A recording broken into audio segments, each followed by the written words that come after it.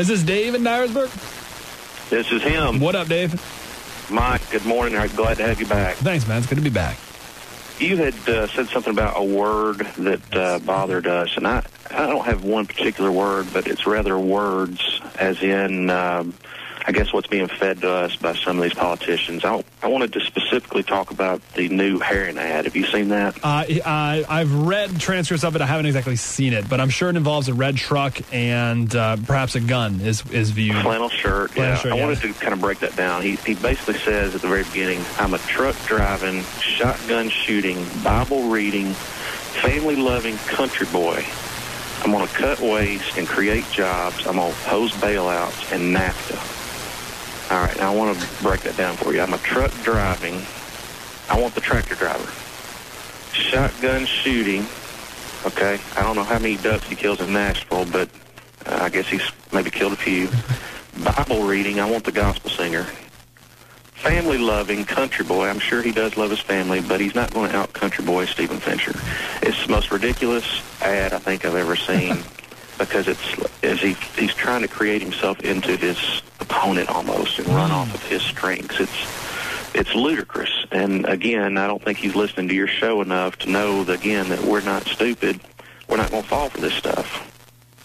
Yeah, it's it's it's and he he does a good job of of doing it though. You know, of being just that guy. You know what I mean? He's that he's the guy. He's, I've lived up and dressed him my whole life. I'm a I'm a Bible man, and I and I drive a red truck. I've Right. driven it for 30 years.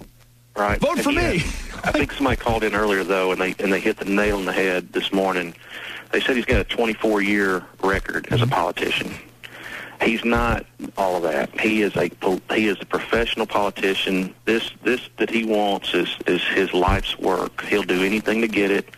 He'll he'll tell you that he's a clown. That he he's great at juggling if he thinks that's what'll win.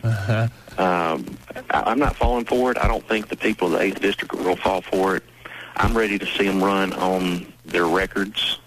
Uh, I know Stephen doesn't have much of a record, but that's to me a strength. I don't want a professional politician uh, as my next congressman. Yeah. I think they need to talk about the issues and separate themselves, and that's what I want to hear. All well said, Dave. Appreciate it, man.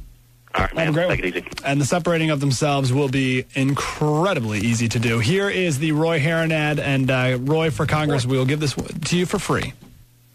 Before Stephen Fincher starts another negative campaign, I want to tell you who I am. I'm Roy Herron. I put 400,000 miles on this old truck. I'm a truck driving, shotgun shooting, Bible reading, crime fighting, family loving country boy. And if you let me, I'll be your waste cutting, job creating congressman.